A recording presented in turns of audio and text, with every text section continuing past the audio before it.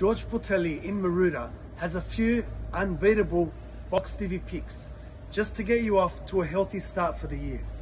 Kale, $1.50, silver beet, 225 and beetroot, 250 It's a happy new year from your local growers.